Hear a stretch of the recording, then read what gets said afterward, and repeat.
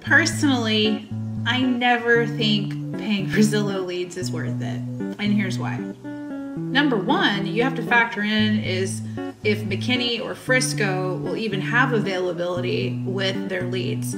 Usually, the agents that have those markets have them locked up and they're spending thousands of dollars per month to have that market share in those zip codes. Number two, even if you could get some and buy in and get on the wait list for those um, zip codes, here's what I have found. In my experience, now you might be saying, well, Kim, I use Zillow and I kill it. Well, let me tell you how it is in my experience. My experience. Zillow is going to price you on a price per lead connection rate. They're trying to estimate how many connections they're going to make for you on a given month. Now, these could be people that call you but already have an agent. Um, these can be uh, people who ghost you. Uh, these can also be people who call you and then ask you to fork over over half your commission and give you big rebates. And that was probably the biggest shock when I experimented with Zillow leads.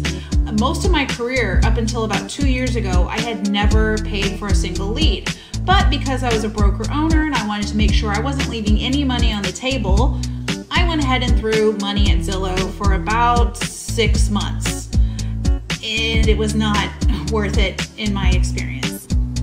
Had I taken that exact same amount of money that I spent and threw it at my database, doing client events, doing funnels, and working all kinds of things on social media, I would have had 10 times the return. So please, please spend the money on building your business, not feeding the Zillow machine.